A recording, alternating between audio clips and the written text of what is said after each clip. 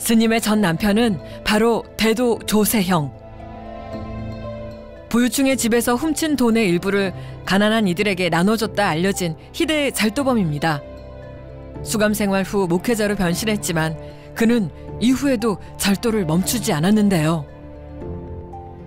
우리 아이 아빠로서는 다시 가졌으면 그런 바람이에요. 솔직한 이야기가 정말로 다시 뒤돌아오면 내 가족이 있다라는 거를 반겨주기를 바라고 저는 어차피 제가 승으로 갔기 때문에 가정은 돌아갈 수가 없을 것 같습니다. 왜 부처님과의 약속을 어느 때는 어, 머리를 깎고 내 손으로 빌을 때마다 부처님 제자라고 미는 건데 어느 때는 또 어, 다시 행복을 찾아가겠다고 그게 저는 행복이라고 안 보거든요.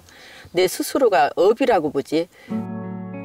대도 조세영의 결혼은 세간에도 화제였습니다. 촉망받는 여성 사업가와 절도범과의 만남.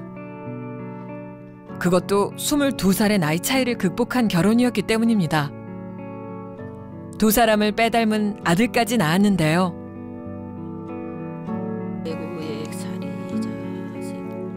잘 나가는 여성 사업가에서 조세영의 아내로.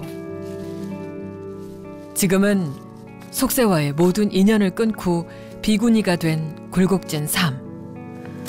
이거는 우리 아이를 위해서 하나 더 올라갈까?